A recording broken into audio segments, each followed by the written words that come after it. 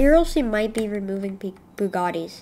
Basically, what happened was the ga a game called Driving Empire released such a bad update. Basically, a gambling update where you could pay Robux to buy a crate that you could get a bad car or you could get a horrible car. So, yeah. Basically, people got really mad and then they started contacting car companies because that's a driving game. They started actually working. The eggs were removed from all of Roblox. And now this happened with the Bugatti. The Bugatti has been removed from Driving Empire, so it will probably soon be removed from ERLC. Anyways, that's basically the video.